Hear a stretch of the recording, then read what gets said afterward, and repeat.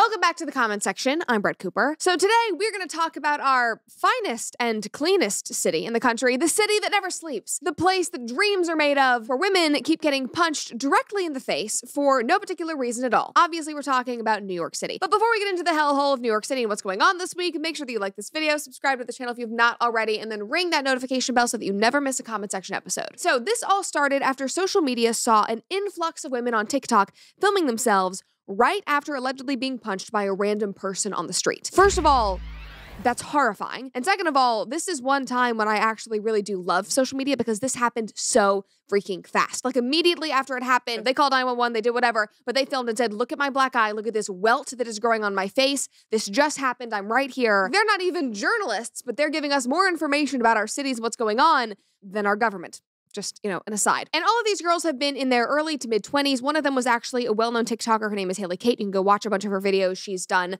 a whole basically series talking about what happened and what has happened in the aftermath. But here is her video from immediately after she was assaulted. I was literally just walking and a man came up and punched me in the face. Oh my God, it hurts so bad. I mean, guys, that is intense. That is not just like, oh, she got kind of shuffled around in New York City or she got slapped. Not that that would be any better by any means. She was fully punched in the head. She has a welt growing out of her forehead from where she was punched. I mean, it's insane. Somebody commented and said, the way I immediately assumed and knew that she was in New York. And on an even more interesting note, the internet sleuths have gone even deeper. Just look at this headline Fringe political candidate who ran for New York City mayor accused of sucker punching TikToker.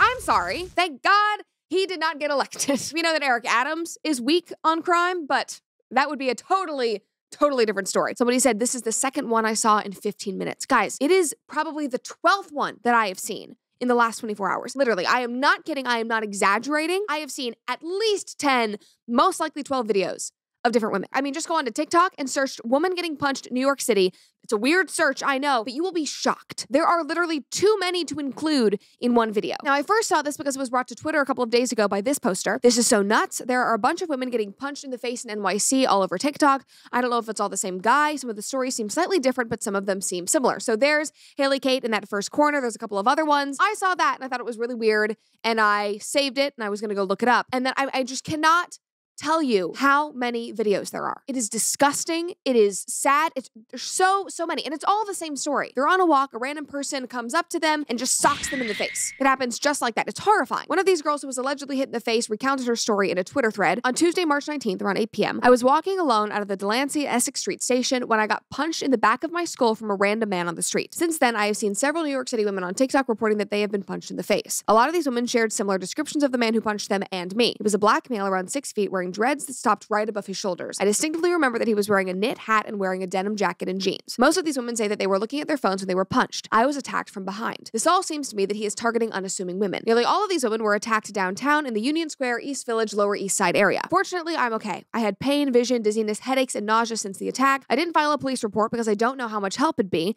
but I decided I'll file one today. I went back to the scene yesterday, noticed security cameras, hope it helps. And first of all, if anything like this happens, Call the police. I know that in many of these cities, law and order seems like it just does not exist anymore, but at least call, at least file it, just so that somebody is on the scene quickly and can at least take account of the things that are going around you. Now, I also want to go back to something else that she wrote, because her comment about unassuming women is so important. And I can be guilty of this as well. I'm prone to doing it, even after spending years doing intense self defense courses. But get your head out of your phones. Take off your earphones. I know I will walk around with my headphones in, not listening to anything. At least pull one out of your ear. Just be aware of your surroundings. Your phone or your music can wait five minutes while you're walking down the street if it means your physical safety is protected. That is what you should care about, not what somebody is posting on X or on Instagram. And obviously, in New York City, you can't carry a gun, but figure out what you can carry, whether it's a form of pepper spray or what size of knife it is legal to carry. Just have something on you. Seriously, all of that aside, no matter what you carry, the best thing that you can do is be aware of your surroundings and then move away and yell if somebody starts to come after you. Literally, that is all. That will deter most people if you just make a scene. Back to the story.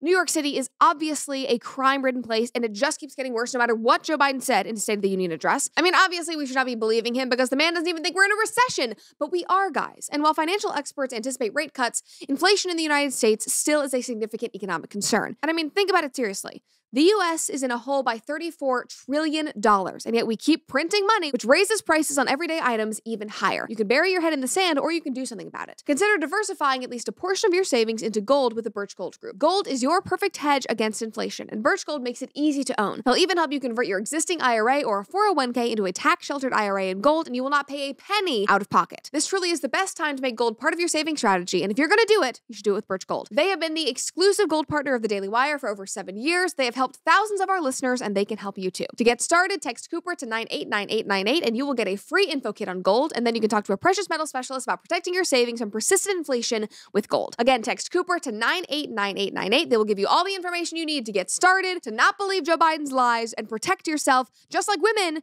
need to be protecting themselves in New York City. But this does not feel normal at all. And because of that, many people believe that this is coordinated or being done by one particular man. And I've seen commenters say that this could be a new iteration of the knockout game that started about 10 years ago, where people would go knock out strangers in cities. It's sort of called a meme, but it obviously is not a meme because it has gotten people killed before. People have also been saying that it could be tied to a group called 4B, and it's just a bunch of angry men targeting women. I could not find any more information about that. If y'all know anything, if you are deep in Reddit or Discord or something, comment below. Let me know. I am interested in that. But anyway, thanks in large part to this trend, girls have come together and have found some common themes here. One girl tweeted and said, Some common threads popping up on these videos of women being punched in New York City. Number one, it sounds like he says something like sorry or excuse me just before attacking. Number two, he appears to be targeting women on phones. Number three, all the women I saw were in this general area of Manhattan. And per usual, this is not a surprise, but determined, scorned, hurt women are more effective than the FBI agent, and this barely scratches the surface of what women can find. And a very important thing to note is that this general area is right around NYU's campus. Washington Square Park is kind of right in the heart of NYU. This area has allegedly gotten very unsafe for students.